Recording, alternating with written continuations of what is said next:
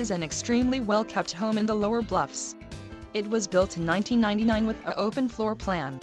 The bedrooms are split and good size. A screened-in porch was put in on the backyard.